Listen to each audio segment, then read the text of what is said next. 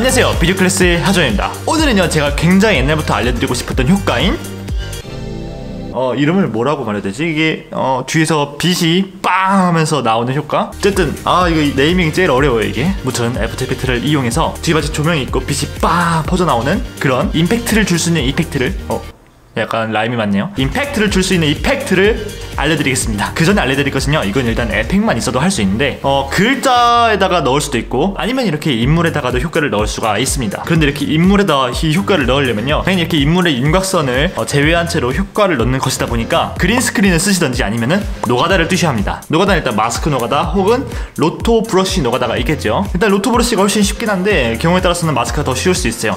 일단 roto brush가 뭔지 모르시는 분들은 제가 옛날에 좀 어, 날씬했을 때 그때 tutorial 했던 여기 영상을 참고해 주시면 되겠습니다. 저는 옛날에 노가다를 굉장히 많이 떴기 때문에 지금은 노가다에 아주 진절머리가 나 있어요. 그렇기 때문에 저는 green screen 쓰도록 하겠습니다. green screen은 저기 있는데 가져야겠죠?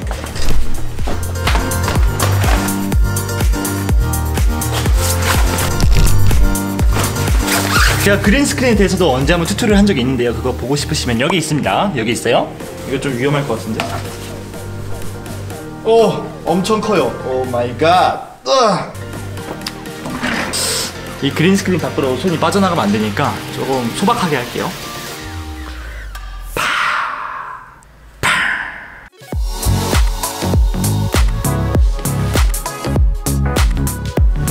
별의별 모션으로 다 찍은 것 같아요.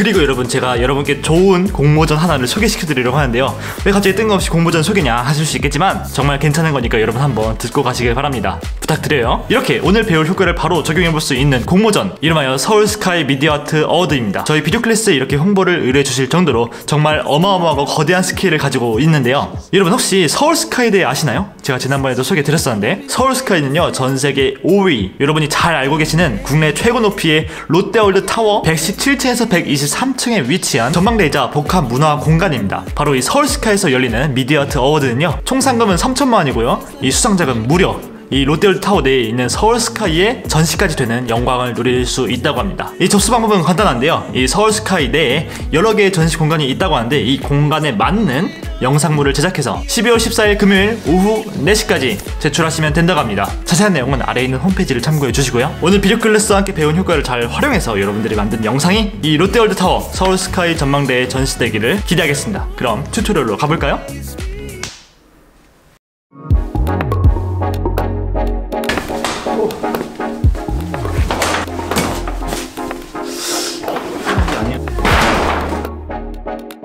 안에 바로 이것이 완성된 후광 쩌는 영상인데요. 어, 저는 이 영상에 임팩트를 더하기 위해서 여러 가지 효과를 더 넣었습니다. 일단 첫 번째 들어간 이 효과는 chromatic aberration이라고 해가지고요. 어, 이런 효과예요. 약간 영상을 이런 식으로 뭔가 주위에 흐린 효과도 넣어주고 뭔가 한 곳에 집중되는 그런 느낌을 주는 효과이고요. 그리고 두 번째로 들어간 효과는 Video Copilot의 Optical Flares의 약간 하위 호환 그런 버전으로 Red Giant의 Universe에 소속된 효과입니다. 어쨌든 Universe를 사면 딸려오는 거기 때문에 이걸로 그냥 잘 쓰고 있습니다.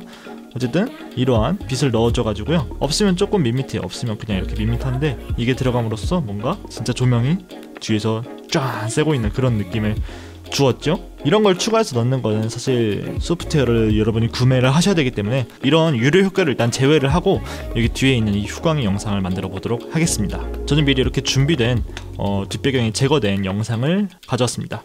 자, 이 영상을 이렇게 드래그해서 여기 composition으로 만들어 줄게요. 짠. 자 composition을 만들었고요 사실은 여기 보시면 검정 배경이 아니라 투명 배경이죠 이제 무엇을 해줄 거냐면요 이 영상을 복제해 줄 겁니다 자 이 영상 layer를 누르신 다음에 control D를 누르면은 복제가 되죠? 여러분이 만약에 텍스트를 만드셨다면 그 텍스트에 뭐 애니메이션 다 해준 다음에 그 다음에 복제를 해주셔야 돼요. 아시겠죠? 필요에 의해서는 precompose를 해야 될 때도 있습니다. 그러고 난 다음에 복제를 이렇게 해주는 겁니다. 자 이 복제된 layer를요 오른쪽 마우스 눌러서 또 저는 precompose를 또 해주겠습니다. 만약에 여러분이 precompose를 미리 했다 그래도 또 해줍니다. 한 번 더 싸는 거예요. 자 precompose를 하는데 이번엔 두 번째 있는 옵션을 클릭해 줄 겁니다. 두 번째 있는 옵션 클릭하고 어 이대로 두고 여기는 제목을 후광으로 하겠습니다 후광 뭐 영어로 backlight라고 해도 돼요 백라이트 오케이 누릅니다 그 다음에 이 영상을 더블 클릭해서 이 composition 내부로 들어, 들어와 볼게요 자 이 레이어에다가 P를 넣어줄게요 어 한글로는 칠입니다 칠 생성의 fill이라고 있을 거예요. 영어로는 generate fill. 이것을 영상에다가 넣어줍니다. 빨간색이 되죠. 우리는 검정색으로 해줄 거예요. 검정색, 여러분 검정색으로 하세요. 뭐 여러분이 텍스트를 만드셨다면은 여기 텍스트가 검정색으로 변했겠죠. 네, 괜찮습니다. 자, 지금은 우리가 이제 backlight를 만들어 주는 작업이라서 자 여기다 backlight를 만들어 줘야 되는데 우선 layer가 아무것도 선택되지 않은 상태로 만들어 줘야 돼요. 이렇게 빈 칸을 클릭하면은 layer 선택이 해제가 됩니다. 그 다음에 control Y를 눌러서요. 우리 solid layer를 만들어 줍시다. 단색 layer는 하얀색으로 만들어 줍시다. 하얀색을 만들고 오케이. 자, 전 지금 여기 있는 이 버튼이 활성화되어 있지 않아 가지고 이 점들이 안 보이는데 이걸 눌러서 자 편집 좀 가능한 상태로 만듭니다. 자 여기 위에 있는 이 pen tool 옆에 있는 이 버튼 있죠? 이것을 1초간 눌러주면은 옆에 이런 게 뜹니다. 이 중에서 ellipse tool 원형 tool을 선택할게요. 원형 tool 누르시고 자 이 white layer는 white solid layer는요 아래로 내려줄게요. 이렇게 짠! 내려주면은 여기 도는 아이 하존이 있죠? 어 여기서 대략 이 인물 뒤에 우리가 light를 직접 만들어 준다는 생각으로 이 원을 그리시면 됩니다. 저는 대략 이런 느낌으로 네 이런 느낌으로 만들어 볼게요. 대충 만드세요. 대충 만드신 다음에 다시 selection tool로 돌아갑니다. 키보드에 V를 누르면 돼요. 그 다음에 수정을 좀 하고 싶다 하면은요 이 path 있죠? path 요 선을 뜻해요 이 path는. 이 선을 더블 클릭해주면은 이렇게 수정을 할 수가 있게 돼요. 수정을 좀 원활하게 할 수 있어요. 여기서 컨트롤 누르면서 뭐 이렇게 늘리면은 좌우로 늘어나고 상하로도 늘어나고 근데 이게 너무 불편하다. 자, 오케이, 뭐 이 정도로 해주고 영상 전반적으로 이렇게 옮겨가면서 적절한 위치에 있는지 확인을 합시다. 자, 이렇게 하신 다음에 우리 마스크 이 옵션에 들어가 봅시다. 마스크 옵션에 들어가서 마스크 패더 있죠? 한글로도 마스크 패더라고 되어 있을 거예요. 이 마스크 패더를 숫자를 이렇게 늘려줍시다. 자, 이제는 우리 요거 눌러서 다시 검정 배경으로 봐도 될 거예요. 검정 배경으로 보신 다음에 이렇게 쭉 늘려줍시다. 쭉 늘리다 보면은 이렇게 뭔가 너무 밝을 거예요. 근데 우리 이렇게 밝은 이미지는 안 필요하거든요. 그러니까 아래에 있는 mask expansion, 한글로는 마스크 확장이에요. 이것을 줄이거나 늘리거나 하면서 저는 요 정도, 요 정도로 만들어 줄게요. 빛이 막 그렇게 많이 필요하지 않습니다. 사실 한 이 정도? 어, 좋은 것 같아요. 이제 이전 composition으로 돌아가야 되는데요. 여기서 키보드에 탭 키를 누르시고 다시 이전 composition 돌아올게요. 그리고 여기 backlight layer가 있고 그리고 뒤에 제 원본 이 layer가 있어요. 아무튼 좋아요. 이제 뒤에 음, 배경 배경 같은 걸 만들어줘야 되는데 뭐 배경은 여러분이 하고 싶은 대로 해도 되는데 저는 그라데이션 배경으로 만들어 주겠습니다. 일단 위에 있는 backlight를 꺼주고요. 어, 방해되니까 꺼주고 자 빈 칸을 누르신 다음에 컨트롤 Y 눌러서 solid layer solid layer 아무 색깔이나 만들어도 돼요. 어차피 우리 램프 넣을 거니까. 오케이. 이 검정색 solid. 자, 방금 만든 solid는 맨 아래로 내려줄게요. 맨 아래로 내려준 다음에 효과에서 ramp라고 칠게요. 한글로는 경사라고 치면 나와요. 자, 이렇게 ramp라고 치고 어, Universe 말고 여기 위에 있는 생성 gradient ramp 있을 거예요. gradient 경사. 이것을 여기 맨 뒤에 있는 solid layer에 넣어 줍시다. 그 다음에 start of ramp는 뭐 적절하게 밝은 색깔로 한 다음에 이 뒤에 있는 색은 엄청 검정색으로 해줄 거예요. 근데 비슷한 계열의 색깔로 엄청 검게 해줄 거예요. 이 정도. 근데 좀 촌스럽지 않게 색깔을 정하는 게 좋겠죠? 이렇게 하고 다시 이걸 눌러야겠네요. 그리고 이렇게 어 이런 식으로 해줄 건데 전 여기서 이 linear ramp가 아니라 radial ramp 한글로는 이게 방사형 경사? 예, 방사형 경사를 해줄 거예요. 가운데로 갈수록 밝고 바깥쪽 갈수록 어두운 그런 느낌으로 해주는 겁니다. 자, 좋아요. 이 정도로 해주면 되고요. 이제 거의 다 왔어요. 어, 뭐 얼마 하지도 않은데 거의 다 했죠. 바로 이제 효과를 볼 수 있을 거예요. 자, 맨 위에 있는 다시 backlight를 눈 버튼 눌러서 켜줄 겁니다. 자, 그럼 이런 느낌이 있죠. 우리는 여기서 모드 이 모드에서 normal을 add로 해줄 건데 만약에 이게 안 보인다면은 여기 있는 이거 눌러져 있는지 확인해 보세요. 여기서 모드를 표준이 아니라 add 한글로는 추가예요. 추가로 바꿔주세요. 그러면 이런 식으로 합성된 이미지가 될 텐데요. 여기서 효과 효과에 들어갑니다. 효과 들어가서 자 radial blur 이게 한글로는 방사형 흐림 이런 이름으로 되어 있을 거예요. 무슨 흐림 치면은 나올 겁니다. 자 이 방사형 흐림 이 효과 중에서 이 radial blur 그냥 radial blur는 너무 느려요. 그래서 저는 그냥 radial fast blur 쓸게요. 결과물은 아무튼 이게 더 좋을 거예요. 그냥 radial blur가 드래그해서 backlight에다가 넣어줄게요. 그러면은 이런 식으로 되는데 우리가 일단 이 amount 네, amount에서 값을 이렇게 올려줍니다. 그러면 벌써 빛이 쫙 퍼져나가는 느낌이 들죠? 근데 이렇게 가운데로 하면 약간 심심하고 요 센터 있지 센터? 이 값을 좀 옮기는 게 중요한데 센터 이 표시가 어디인지 모르겠다 하시는 분들은요 요거 조준점 같은 거 눌러주시면은 짠! 이렇게 표시가 됩니다. 그래서 이런 식으로 클릭해주면은 위치가 바뀌어요. 아무튼 이거를 끌어서 옮겨도 돼요. 그래서 여러분들이 빛의 그 위치 빛의 위치를 정해주면 되는데 저는 대략 뭐 요쯤 아래쪽으로 해줄게요. 아니 뭐 위에다 이렇게 해도 되는데 아래쪽에다 하는 게 좀 더 나을 것 같아요 이렇게 하고 amount 이 amount가 이 숫자가 90 후반대로 가면은 1의 차이가 엄청 커요. 그래서 100이랑 99랑 차이가 많이 나죠? 저는 그래서 99 정도로 해줄게요. 99라고 요 zoom을 brightness로 해도 되고 standard로 해도 돼요. 여러분 취향에 따라서 저는 brightness가 조금 더 어, 강렬한 것 같으니까 이걸로 해줄게요. brightness로. 저는 이 backlight layer를요 컨트롤 D 눌러서 복제를 해줄게요. 복제하고 어, 효과 중에서 한글로는 흐림 이렇게 치면은요 어, 영어로는 이렇게 box blur라고 치면 나와요. 아무튼 뭔가 박스 빠른 box blur 이런 게 나올 거예요. 박스 흐림. 이것을 여기 다시 복제된 거에 넣어줄게요. 넣어준 다음에 이것을 살짝 값의 그 숫자 자체는 여러분들이 알아서 여러분들 영상에 맞게 정해주시면 돼요. 딱히 정답이 있는 게 아니니까요. 자 그리고 여기 있는 이 radial blur 값은 좀 적게 해주세요. 원래보다는 좀 적게 얼마만큼 적게 할 건지도 여러분 자유예요. 그 다음에 이 두 layer의 밝기를 좀 줄여줄 건데 이 두 layer를 선택하신 다음에 T를 누르면 opacity 나오겠죠? 자 이 opacity를 이런 식으로 값을 좀 조정해 줄 겁니다. 저 이제 한번 영상을 재생해 볼게요.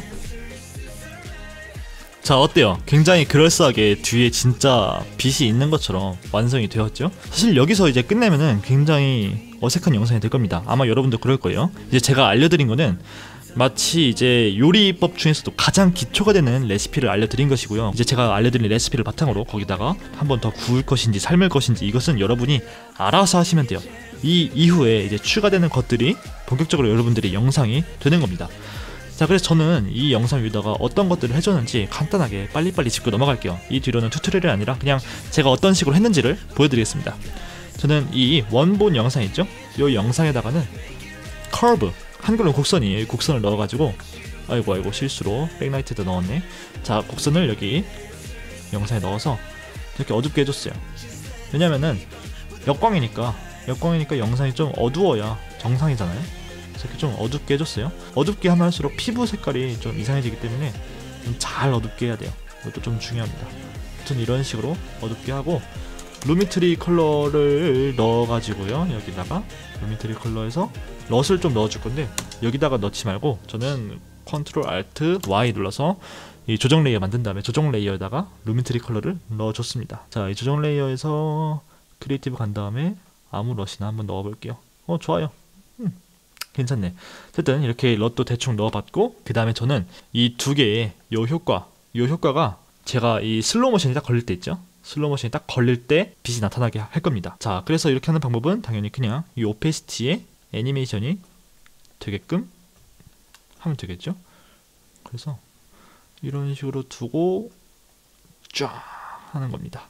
자, 그런데 저는 또 맨 뒤에 있는 이 배경, 이 배경도 약간 애니메이션 되게 할 거예요. 좀 더 어두웠다가 그 다음에 밝아지는 그런 느낌으로요. 지금 여기다가 Control Y 눌러서 검정 색깔을 하나 만들어준 다음에 이 검정 색깔을 맨 아래다가 넣어줄게요.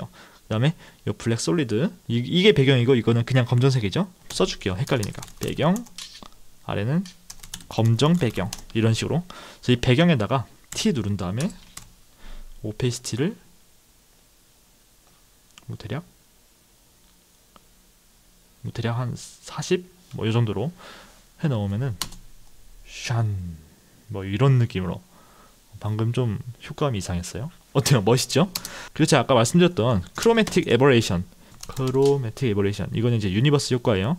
제가 광고하는 것 같은데 뭐 광고 오면은 할 만큼 굉장히 느낌이 좋은 효과예요. 자 아무튼 뭐 Lens Texture도 한번 넣어볼까요? 여기 이런 효과가 되게 잘 돼 있어요. Frozen 오우 렉. 오 개멋있다. 굉장히 멋있는데 무튼 더 이런 식으로 느낌을 낸 거죠. 그리고 여기다가 저는 또 이제 확대도 되게 했어요. 그럼 좀 더 임팩트가 세지겠죠? 자, null layer를 이렇게 만든 다음에 null layer를 모든 layer들이 따라가게 할 거예요. 자, 지금 엄청 대충 하는 겁니다. 자, 그리고 영초에 가서 스케일에 이제 keyframe 만든 다음에 맨 뒤에서는 대략 뭐 한 150% 정도 확대되게 했어요. 그 다음에 여기 Graph Editor 들어간 다음에 이제 뭐 대략 이 정도 값을 이렇게 하면은 애니메이션이 엄청 임팩트 있게 될 거예요. 슝. 어, 짱 멋있죠?